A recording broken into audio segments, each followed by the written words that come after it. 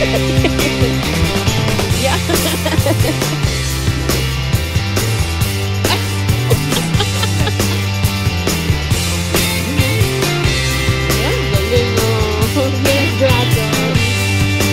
Dragon. Yep.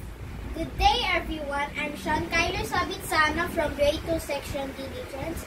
I'm going to demonstrate two examples of input devices and how are being used or operated.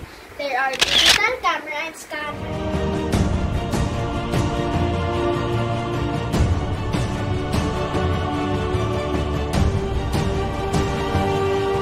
Scanner. A scanner is an input device that uses optical technology to transfer some images into a computer where the signal can be converted into a digital image. This is the scanner. The digital image can then be viewed on a monitor screen, saved, edited, emailed, or printed.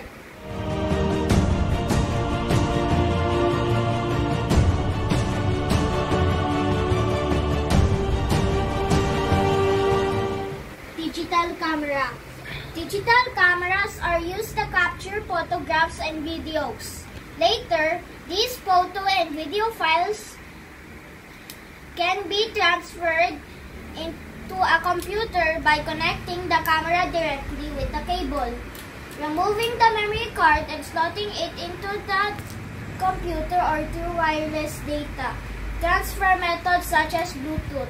Once the photos are on the computer, they can be saved, edited, emailed, or printed. You can you can take a picture of yourself with this one or you can video with vlogs. Thank you.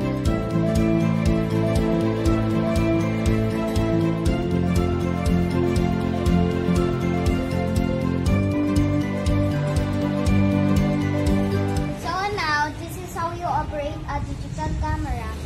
So first, I'm going to open the cap and then switch on.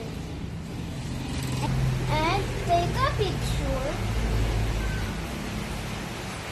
And then I will see it in here. So this is it. So thank you.